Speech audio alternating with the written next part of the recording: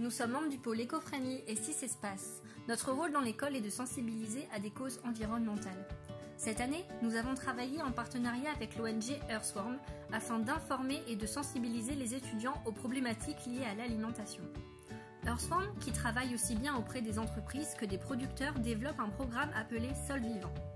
Celui-ci accompagne les agriculteurs vers des méthodes plus durables. Nous avons donc organisé tout un cycle de conférences autour de la question Que mangerons-nous demain? Aussi, nous nous sommes rendus près d'Amiens, dans les Hauts-de-France, afin de rencontrer un agriculteur en transition et membre du programme Sol Vivant. La troisième conférence fut une intervention de Nathalie Librec en charge du projet Sol Vivant de la Fondation Earthworm et Emmanuel Pougeot de l'entreprise Monduel. Une conférence dont le thème était Sol Vivant, une agriculture régénératrice des sols. Nous avons pu comprendre les enjeux d'une agriculture plus respectueuse des sols, mais aussi l'importance du rôle des acteurs locaux. Afin de connaître la réalité des agriculteurs, nous avons décidé de nous rendre sur le terrain et nous avons rencontré Thomas Leroux, agriculteur qui a choisi de rejoindre l'initiative Sol Vivant de la Fondation Earthworm. Ce projet, lancé il y a deux ans près d'Amiens, a pour but de sensibiliser et accompagner les agriculteurs dans leur transition vers une agriculture plus durable afin d'améliorer l'état de leurs terres. Bonjour, euh, je m'appelle Thomas Leroux, je suis agriculteur dans la Somme, à côté d'un petit village qui s'appelle Mailly-Renval. Euh, je suis exploitant depuis 20 ans et je cultive euh, en agriculture de conservation depuis un an sur la ferme Sébastopol. Quel constat faites-vous du secteur agricole? Après la seconde, la seconde, Guerre mondiale, il fallait produire pour nourrir la planète. ce schéma-là n'est plus d'actualité. Il va devoir continuer à exister parce qu'on a besoin de manger, de nourrir une population qui est de plus en plus croissante au niveau mondial. Et jusqu'à maintenant, la problématique sol, on s'en préoccupait pas. On travaillait le sol pour produire. Mais en travaillant le sol, on l'appauvrit. Dans beaucoup de régions, à force de cultiver de manière intensive, aujourd'hui, il n'y a plus rien qui ressort. Qu'est-ce que l'agriculture de conservation des sols? Le fait de travailler le sol en, baisse en matière organique.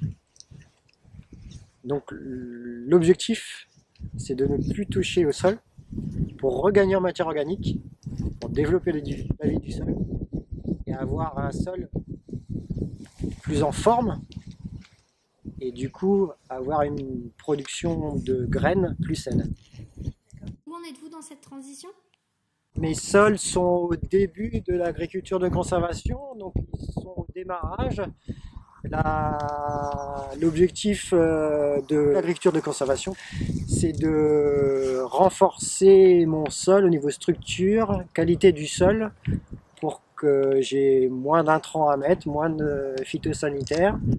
Comment la fondation Earthworm vous accompagne-t-elle?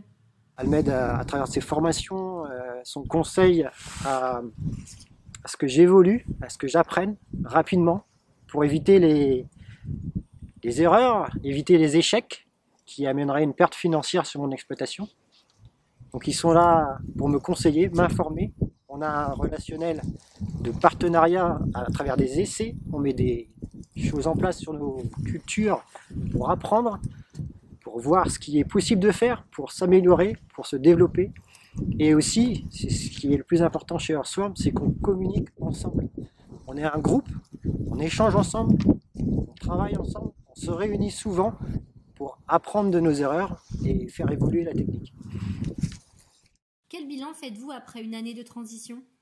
Dès la première année, je vois une différence entre un sol qui est déchaumé, labouré, et un sol qui est non travaillé, avec une culture intermédiaire. Je vois l'évolution mécanique du sol. Je vois plusieurs évolutions. L'évolution au niveau de la diminution des phytosanitaires, l'évolution au niveau de la consommation de matériel, de gasoil.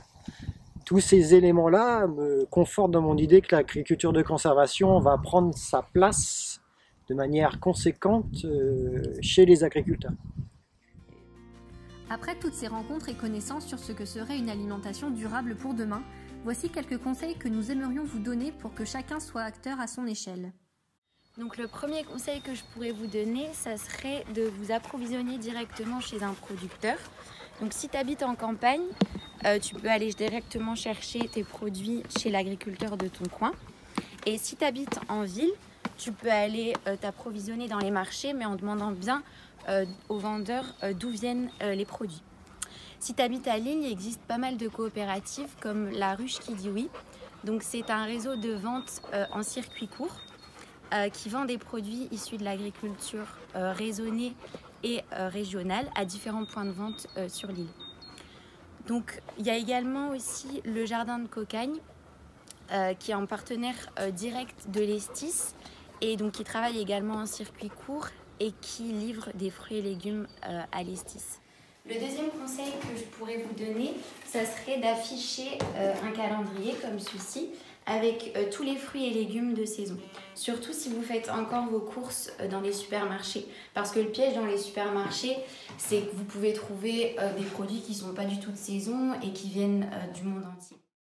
Ces différents moments nous auront permis d'en apprendre davantage sur l'agriculture, sur l'importance de mieux consommer et sur les enjeux de l'agriculture régénératrice des sols comme solution durable.